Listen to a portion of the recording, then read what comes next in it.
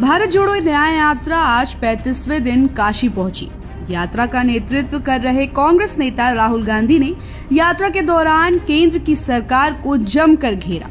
भारत जोड़ो न्याय यात्रा का पार्ट टू मेघालय से शुरू होकर काशी होते हुए गुजरात तक जाएगा।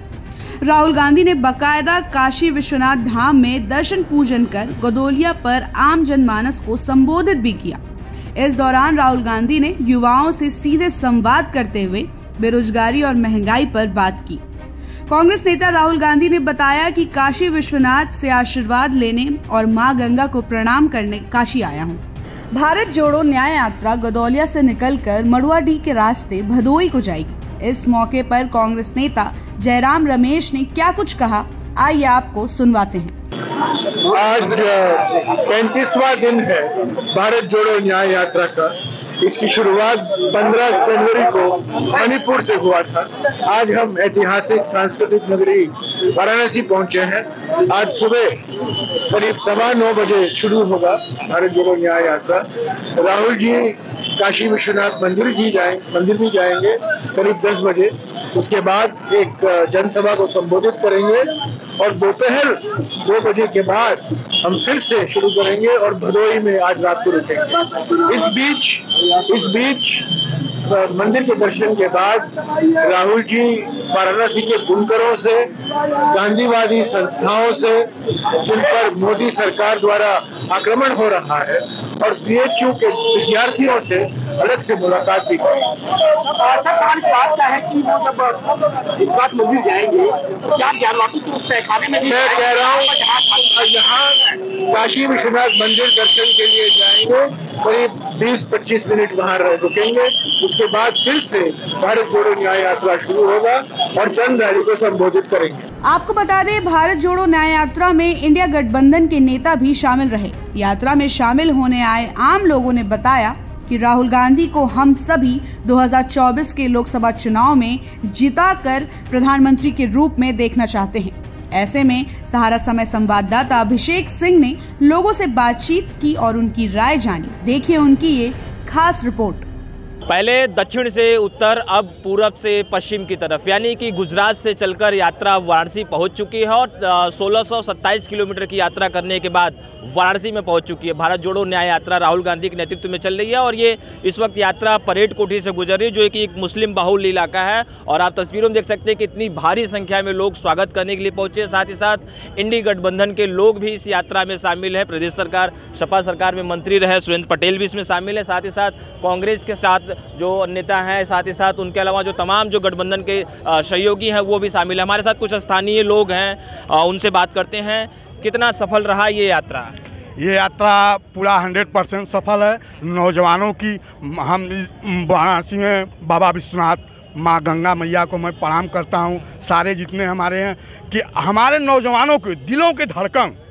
माननीय राहुल गांधी जी का कार्यक्रम लगा, आए, इसके लिए तहे दिल से अगले शिष्य नेतृत्व को हम बधाई देते हैं कि जो नौजवान पकौड़ा तलेगा, वो नौजवान खेला होवे खेला होवे भी करेगा और देखेगा, खेला पलटेगा। मन की बात नौजवान जानता है। आज हम बेरोजगार हैं, आए, हमारे माँ बाप उम्मीद किए थे, ये हमको खेला दिखा रहे हैं। क्या है इसका मतलब? आए, आज गरीबों के साथ खेला, किसानों के साथ खेला दिखा रहे हैं। इसका मतलब क्या है?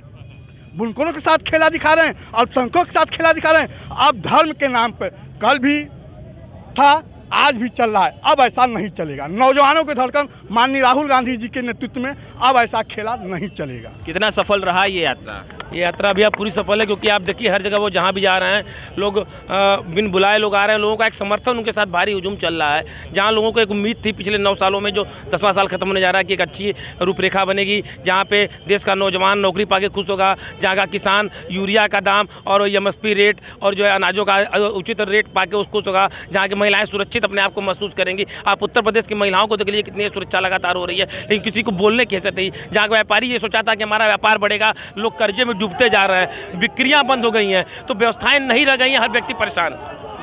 भारी जनसमूह यात्रा के पीछे।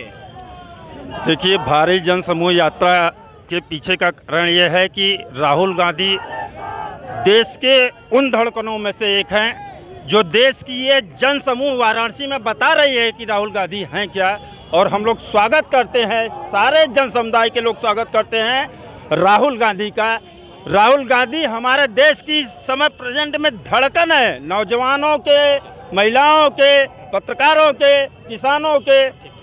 हमारे साथ इन- इंडी गठबंधन के सहयोगी सपा सरकार में पूर्व मंत्री रहे हैं सुरेंद्र पटेल जी भी जुड़े हैं। पटेल जी कितना बड़ा इतना जन समर्थन और कैसे देखते हैं इसको? जन समर्थन ये देखिए अपार जन समर्थन आपको जो दिखाई दे रहा है ये झूठ के खिलाफ है। ये अहंकार के खिलाफ है। ये बेरोजगारी के खिलाफ है। ये किसानों की आमदनी जो दूना करने के लिए कहा था इन्होंने ये उसके खिलाफ है। ये एम एस पी के पक्ष में है। ये किसानों के हित में है। और इस देश का अन्नदाता दुखी रहेगा तो देश कभी सुखी नहीं रह सकता। मैसेज क्या होगा बनारस से पीएम के लिए? मैसेज झूठ को ख़त्म करना है। अहंकार को ख़त्म करना है। सत्य को स्थापित करना है कि इसी का मैसेज रहेगा। ये इंडी गठबंधन के सहयोगी और सपा सरकार में मंत्री सुरेंद्र पटेल रहे हैं। साथ ही साथ भारी संख्या में लोगों का समूह है और जिनका कहना है कि इस बार वाराणसी से भी खेला होने जा रहा आप देख सकते हैं कि हर तरफ़ जो चाहे वो भारत चंद्रशेखर की जो पार्टी के, उसका जय भीम की झंडे हो या फिर कांग्रेस के झंडे हो या फिर समाजवादी पार्टी के झंडे हो, पूरी तरह से जो यात्रा में जो लोग शामिल हुए, वो उत्साहित नज़र आए और साथ ही साथ बनारस से एक बड़ा मैसेज देने की कोशिश कर रहे हैं कि जो चौबीस का जो परिणाम होगा, वो इंडी गठबंधन के पक्ष में होने जा रहा है। फ़िलहाल सारा समय के लिए वाराणसी से कैमरा पर्सन संजय गुप्ता के साथ अभिषेक।